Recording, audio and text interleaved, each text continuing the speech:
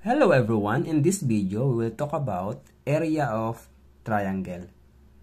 So as you can see, in figure number 1, we have 4 inches and 4 inches as measures of the sides. Okay, take note. The area of a triangle is derived from area of square, area of rectangle, or area of parallelogram. Okay? Since a triangle is half of a square, half of a rectangle, or half of a parallelogram.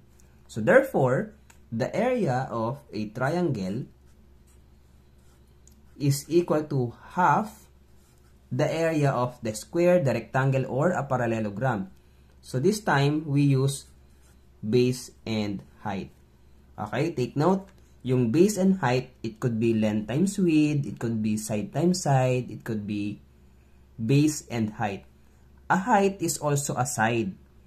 If and only if the height is perpendicular to the side. Ang measure niya ay makabuka ng 90 degrees. So now, uh, let us have uh, the value of base. Ang base natin, syempre, that is 4 inches. So, 1 half times 4 inches times height. So, height natin, same with the side na rin. Kasi yung side natin is perpendicular naman dun sa isang side. So, therefore, the height is also 4 inches. So, height is equal to the measure of the side. If and only if the side is perpendicular to the other side. So, makakabuka ng 90 degrees. So, now, 4 times 4, 16 square inches divided by 2. So, we have 8 square inches. So, the area of a triangle in figure number 1 is equal to 8 square inches. Now, let us have item number 2. As you can see, we have the measure of the base 12 centimeters and the measure of the height which is 5 centimeters. So again, the area of a triangle is equal to 1 half base times height. So we have A, area of a triangle is equal to 1 half base. The base is 12 centimeters times the height is 5 centimeters. Okay? So now we have 1 half 12 times 5 that is equal to 60 so we have 60 square centimeters. So 60 divided by 2 so we have 30 square centimeters. So the area of the second figure is 30 square centimeters. So pwede rin naman ganito 12 divided by 2. So, 12 divided by 2 is 6 times 5, 30. Okay, kung mas nadadalian kayo dun sa divide before the multiplication. So, what if the given in the figure are the measures of the sides? So, we have 6 centimeters, 6 centimeters, and 6 centimeters. So, all sides are equal. So, what is the area? Okay, we have to use the the Heron's formula. Okay? So, yung Heron's formula natin, area of a triangle is equal to the square root of S times S minus A times S minus B times S minus C. Okay? So, take note. Yung A B, and C, A, B, and C ay yung sides natin. Okay, sukat ng sides. And then yung S ay semi-perimeter.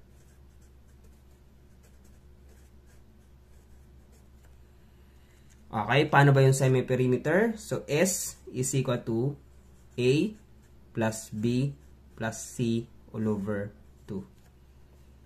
Okay, so let us solve. Unahin muna natin yung S. So, S, syempre yung A, yung value ng A. So, pare-pareho lang naman yan. 6 plus 6 plus 6 divided by 2. Okay? So, that is equal to 6 plus 6, 12 plus 6, 18 divided by 2. That is equal to 9 centimeters. So, now, we can use the formula. So, A of a triangle is equal to square root of So, S. Ang S natin is 9 centimeters. Ito. Okay, so S is 9 times 9 minus. Ang A natin is 6. Times 9 minus 6 times 9 minus 6. Okay, so we have that is equal to square root of 9 times 3 times 3 times 3. So that is equal to square root of 9 times 9 times 3. Okay? So what is the square root of 9? That is 3. What is the square root of 9? That is 3. Then, syempre, wala namang square root ang 3. So, 3 times 3, that is equal to 9 square root of 3. Okay? Or, syempre, pag tinimes mo kasi to dito sa kabila, pwede maging square root of 243.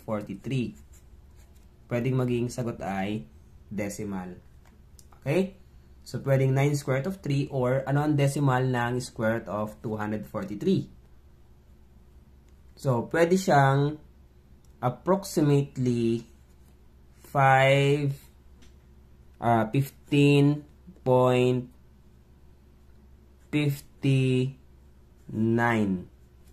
So, that is 15.59 square centimeters. Okay? So, pwedeng maging ganito ang sagot. So, 9 square root of 3 square centimeters or approximately 15.59 square centimeters. Okay? So again, if the given uh, in figure are the measures of the sides, so yung sides ang given, tatlong sides, three sides, ang gagamitin nyo ay Heron's formula. So, S, the square root of S times S minus A times S minus B times S minus C. So, yung ABC ay yung measures of the sides. Tapos, yung S is the semi-perimeter. Okay? So, I hope you learned from this video. And if you learned, please subscribe the channel.